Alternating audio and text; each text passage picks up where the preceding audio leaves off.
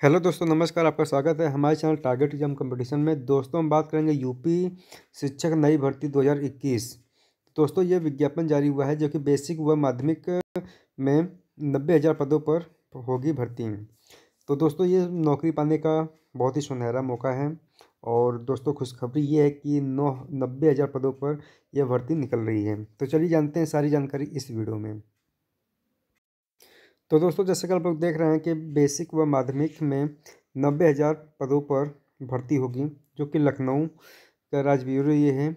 और दोस्तों, यह न्यूज़पेपर में कटिंग थी, निकला था, मैं उसका कटिंग कर लिया हूँ। चुनावी समर का आगाज़ हो हो चुका है, जो कि राजनीतिक दल जहाँ नई ज़मीन बनाने में लगे हैं तो राज्य सरकार भी अपने वादों को पूरे करने के लिए तेज़ी से जुट गई है।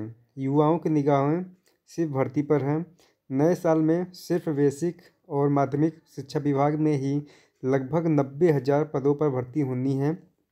इनमें से कुछ तो अगले छः महीने में भर्ती हो जाएँगी और कुछ भर्ती जो कि इसी वर्ष के सबसे पहले भर्ती माध्यमिक शिक्षा के सहायता स्कूलों में पंद्रह हज़ार पाँच सौ आठ जो कि एल्टी ग्रेड व प्रवक्ता के पदों पर भर्ती होगी। इसके लिए विज्ञापन इसी महीने में जारी होगा।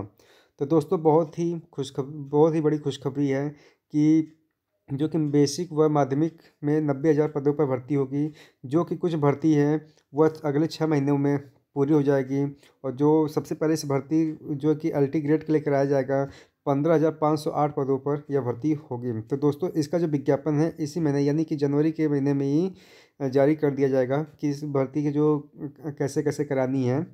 तो दोस्तों, इस भर्ती को करने के लिए सबसे पहले आपको टेट या सी टेट टेट या सी टेट क्वालिफाई रहेंगे, तभी आप इस फॉर्म को भर पाएँगे, वरना नहीं भर पाएँगे, जो कि सी टेट का एग्ज़ाम इकतीस जनवरी को है। तो अगर आप उसमें पास हो जाते हैं तो इस फॉर्म को भर सकेंगे।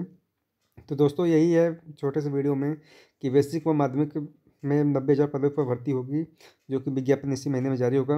अगर दोस्तों वीडियो आपको अच्छी लगी हो तो ज़्यादा ज़्यादा शेयर करें, वीडियो को एक लाइक करें। अगर आप हमारे चैनल पर नए हैं तो चैनल को सब्सक्राइब कर लें।